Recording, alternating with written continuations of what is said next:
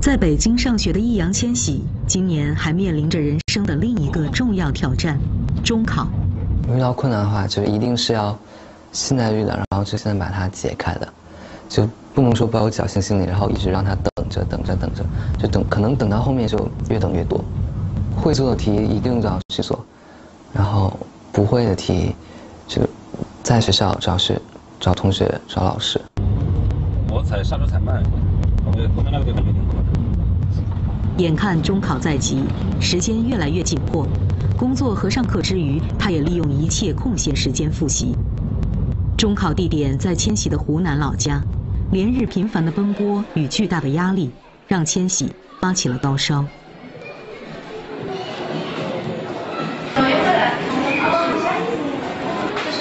打地针还是室内？即使身体还没有痊愈，他也在争分夺秒，准备着最后的冲刺。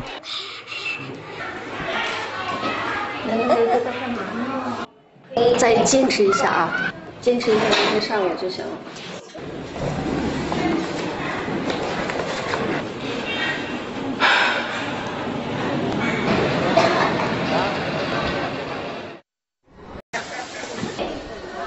嗯，醒了，醒了，但是还在赖。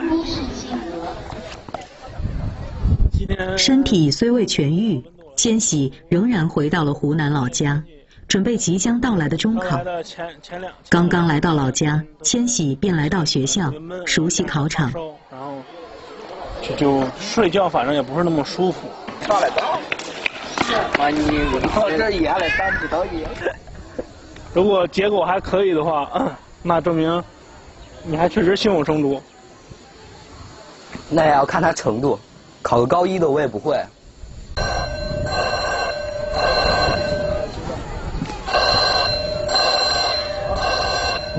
别闭嘴。就是有那么多人说你是不应该做这个事情，你其实你主要身份还是学生，你应该去做学生的事情，然后那样可以给大家一个榜样。但是我觉得我们有我们自己的想法，我们想去做什么，然后喜欢做什么，我们可以自己坚持下去。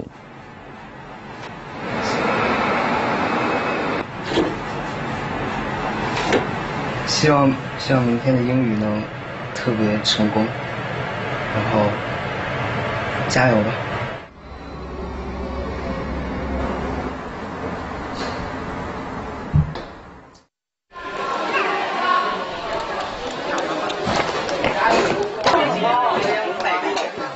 二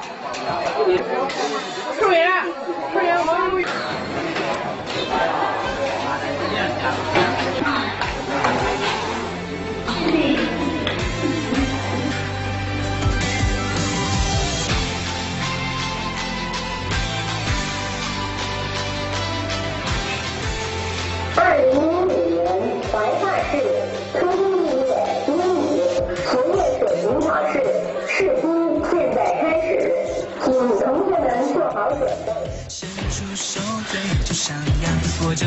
我认为青春就是不浪费时间吧，想要去做的事情必须去做。